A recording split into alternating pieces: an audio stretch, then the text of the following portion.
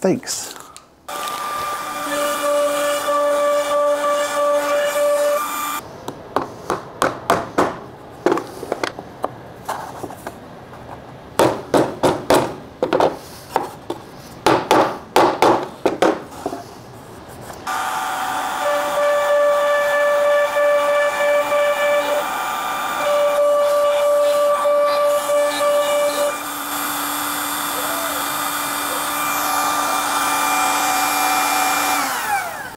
I am super excited to share with you how you could take your CNC and modify it to do loose tenon mortises for around $60. It's easier than you might think. Step one, you're gonna be mounting your router sideways. Step two is you have to make yourself a platform that will elevate up your boards. The way this jig is set up is I could mount boards out this way and I could flip the board over and as long as I cut the mortise in the center of the board, I could cut more mortises on this side. If I want to cut more in the middle of a board, I could slip thin boards underneath and actually go out the back of my CNC. You could do an angle cut do like a picture frame. Everything is off the same zero, which means everything is always going to align properly because it's off the same reference point. So it's not just a one-dimensional reference point, it's actually a three-dimensional reference point because everything's against this flat, this flat, and that.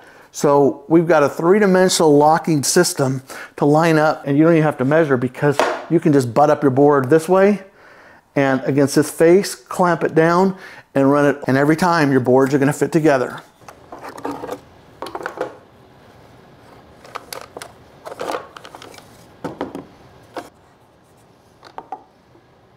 Six by 40 millimeters, tap them in. They should be very, very snug because that's the way I designed my G-code.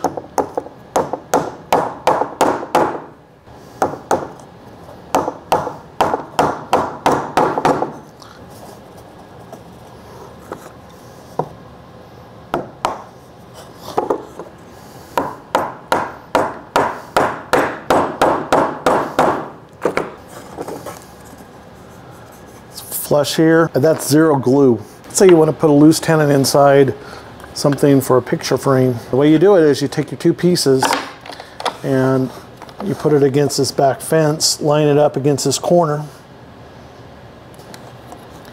and that becomes our reference guide. And then rather than putting it like this and cutting your tenon, what you have to do is you have to flip the piece and put it against this edge right here and line it up and then put this angled piece against this front edge and then clamp it down. Something like that.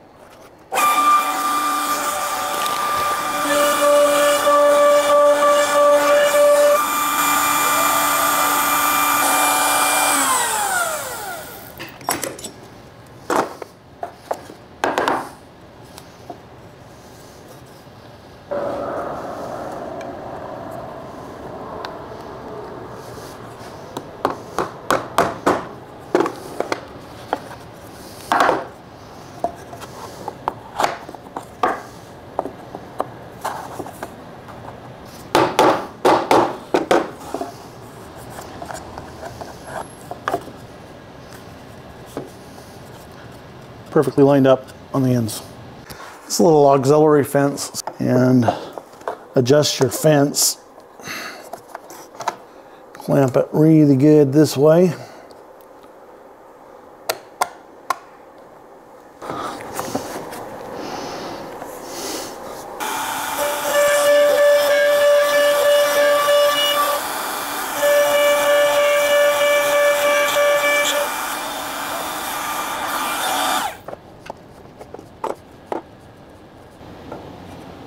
I want to show you a little bit behind the scenes. Let's start with the main platform.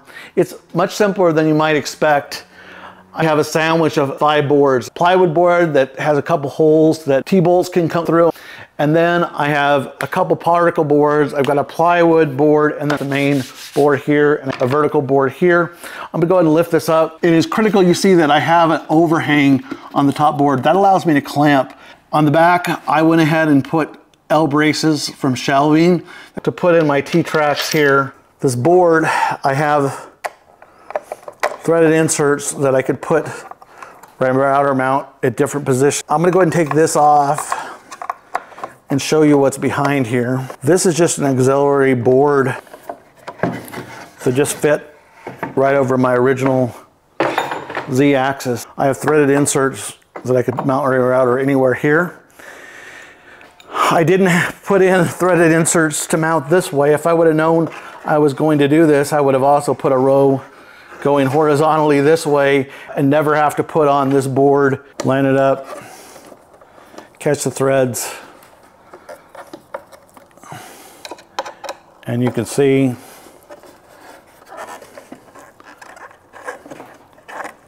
very, very quickly, I've got that mounted and then I just mount my router this way, making sure that I have room to get to my power underneath. So I had to mount my router like this. So make sure that you think about that when you're making yours. Thanks for tuning in. I'll see you in the next video and I'll teach you how to write some G-code.